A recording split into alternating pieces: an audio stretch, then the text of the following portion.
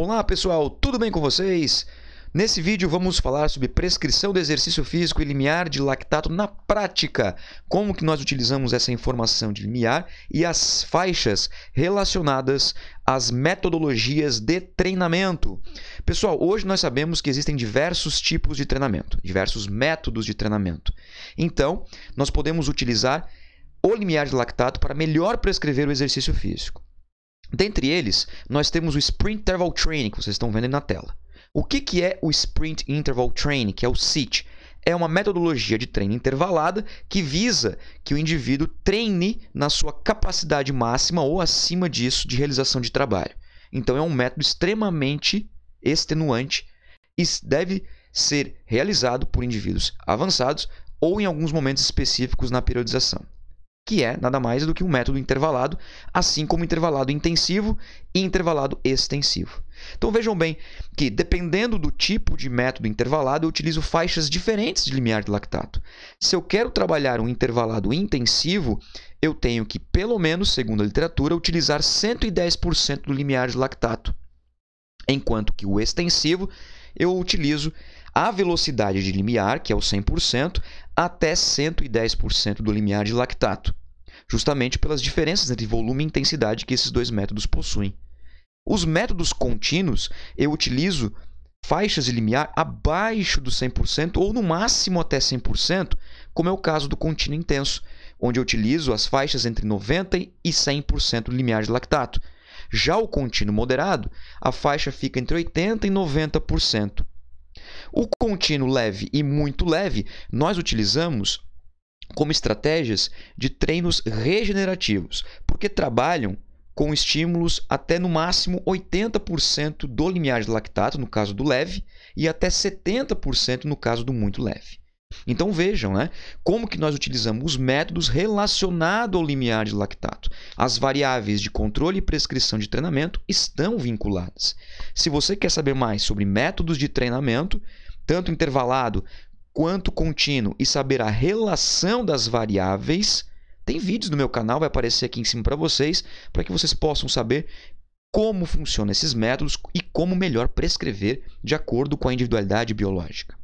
Eu separei para vocês, galera, um exemplo prático tá? para nós raciocinarmos como funciona de fato a prescrição do exercício, relacionando um exemplo aí, como por exemplo, um indivíduo que fez um teste, um teste de Concone, beleza?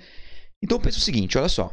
Um homem de 25 anos de idade que já praticou exercícios físicos, ficou um tempo fora, está voltando à prática, então ele volta a ser iniciante realizou o teste de Concone. Quer saber o que é teste de Concone, pessoal? Acesse aqui em cima, vai aparecer daqui a pouquinho aí o que, que é o teste de Concone e como você utiliza estas informações para prescrever o exercício.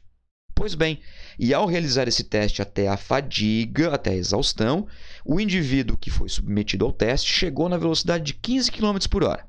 Beleza? Então é o seguinte: você vai utilizar algumas estratégias para poder identificar aonde está o limiar você pode fazer uma estimativa, como por exemplo, 70 a 90% do VO2. Se o indivíduo ele chegou até 15 km por hora, este aqui é o seu VO2, só que está na velocidade. Então, esta é a velocidade de VO2, que nós chamamos de VVO2. Beleza? Então, você pode fazer uma estimativa entre 70% e 90% desse valor. Ou, que eu sugiro, você fazer uma análise dos dados pelo método DMAX.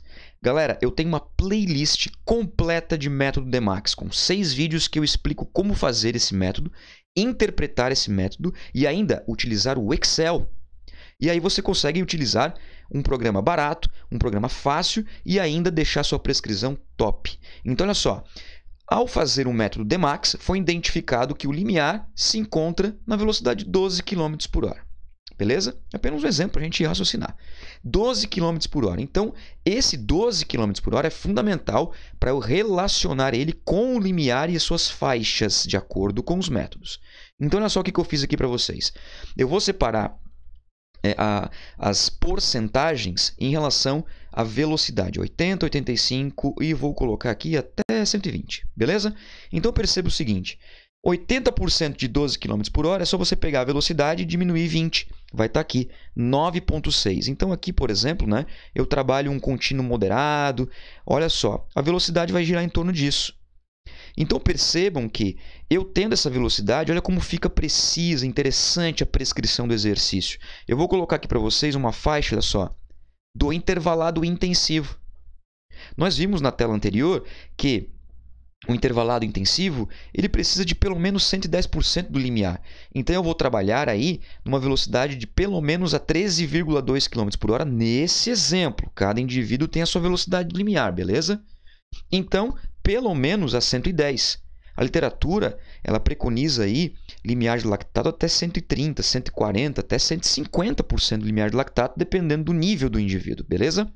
Agora, se eu quiser trabalhar um intervalado extensivo, eu vou fazê-lo na velocidade de limiar até no máximo 110 para trabalhar o intervalado extensivo. Agora, se eu quero trabalhar, por exemplo, um contínuo intensivo, galera, eu vou no máximo até a velocidade do limiar, trabalhando aí em torno de 10% abaixo. Por quê? Porque o estímulo é contínuo. Como o indivíduo ele não tem recuperação durante seu treino, se ele fizer acima do seu limiar, é muito provável que ele fadigue antes da hora.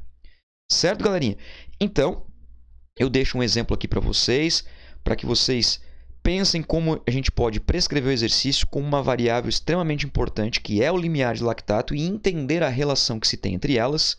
E ainda, né, deixar a prescrição cada vez mais refinada, melhor, precisa, para que o seu aluno, o seu cliente, o seu atleta consiga alcançar o objetivo.